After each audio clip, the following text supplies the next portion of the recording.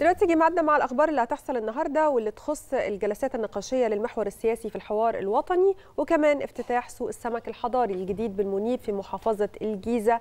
كمان النهارده هيتم تسليم وحدات سكنية بمشروع سكن مصر في القاهرة الجديدة وفي مباريات مهمة في الدوري المصري والدوري الإنجليزي. خلونا نشوف التقرير.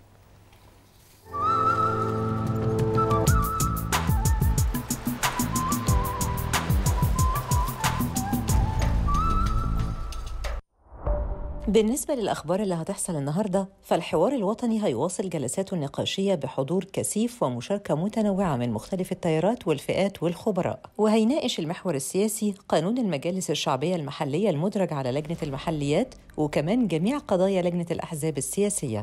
وبتضم لجنة الأحزاب السياسية في موضوعاتها قواعد تعزيز ودعم نشاط الأحزاب وإزالة المعوقات أمامها وتشكيل واختصاصات لجنة الأحزاب والحوكمة المالية والإدارية داخل الأحزاب.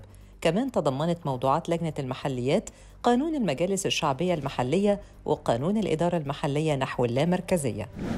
النهارده هيتم افتتاح سوق السمك الحضاري الجديد بمنطقة المنيب بحي جنوب الجيزة وده في إطار خطة المحافظة على التوسع في إقامة الأسواق الحضرية للباعة للقضاء على ظاهرة الأسواق العشوائية. السوق الجديد بيعد أحد أهم المشروعات التنموية اللي بتنفذها المحافظة بالتعاون مع الوكالة الألمانية جي آي زي للحد من ظاهرة الأسواق العشوائية اللي بتعوق الحركة المرورية وبيضم 143 باكية بيعية ومبنى خدمات يشمل مبنى إداري للسوق ومطعم وكافيتيريا لخدمة المترددين عليه النهارده جهاز تنمية مدينة القاهرة الجديدة أعلن إنه هيتم تسليم أربع عمارات تضم 96 وحدة سكنية بمشروع سكن مصر بمنطقة غرب الجامعات بمدينة القاهرة الجديدة.